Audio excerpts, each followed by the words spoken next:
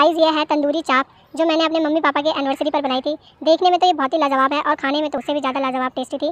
तो आप भी ट्राई कर सकते हैं। और सबसे पहले मैंने दही को क्या करा है? बाँध लिया है कपड़े में और इसे थोड़ी देर के लिए लटका दिया है, क्योंकि ये दही जो है गाढ़ा होना चाहिए। अगर आप चाप बना रहे हैं मैरिनेशन के लिए दही बहुत गाढ़ा होना बहुत ही ज़रूरी है। तो आधे घंटे बाद जो है हमने दही को निकाला था। उससे पहले हमने चाप को प्रिपेयर कर लिया मतलब इसे काट के हमें थोड़ा जो फ्राई करके ज़्यादा अच्छा लगता है तो हमने इसे अच्छे से फ्राई भी कर लिया है। और फाइनली मैं इसमें पतीले में दही डाल रही हूँ, ज़्यादा बनाया था, क्योंकि उस दिन एनिवर्सरी थी, बहुत सारे लोगों ने खाना था, और इसमें बहुत सारा मैरिनेशन का आइटम हमने डाला है, जो मैं क्लिप लगाना भूल गई, और ये क्लिप डिलीट हो चुकी है तो इसके लिए सो सॉरी तो आप ऐसे इन्जॉय कर लीजिए वीडियो बस सिखाते तो बहुत सारे लोग हैं यूट्यूब पर, और फाइनली मैरिनेशन हो चुका है। इसे करने में हमें एक डेढ़ घंटा लगता है, क्योंकि काफ़ी सब चीज़ें इसमें डालनी पड़ती हैं, और ये आधे घंटे बाद ये मैरिनेशन बहुत ही टेस्टी लग रहा था देखने में भी, और बहुत ही अच्छी स्मेल आ रही थी इसमें से। और फाइनली अब इसे हमें तवे पे थोड़ा सा फ्राई कर रहे हैं, हल्के बटर के साथ।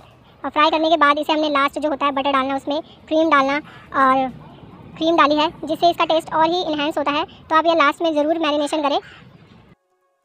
साथ आप लेमन भी डाल सकते हैं, बहुत ही टेस्टी लगता है। तो अगर आपको वीडियो अच्छी लगे तो लाइक शेयर सब्सक्राइब ज़रूर।